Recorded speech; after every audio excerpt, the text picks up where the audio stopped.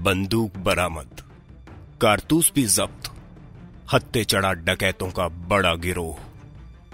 हथियारों का ये जखीरा ये बताता है कि अपराधी वारदात को अंजाम देने के लिए किस तैयारी के साथ जाता होगा। मथुरा मार्ग पर रारह गाँव के पास पुलिस ने इन्हें पकड़ा। ये कोई ऐसे वैसे डकैत नहीं है। यूपी, मध्य प्रदेश, राजस्थान और हरियाणा तक ये डकैती को अंजाम देते थे। पिछले महीने इन बदमाशों ने यूपी के पाली गाँव में छह करोड़ रुपए की डकैती की वारदात की थी।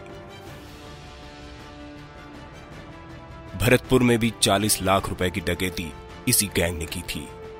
बहुत दिनों से पुलिस को इनकी तलाश थी। इन पर इनाम भी घोषित था।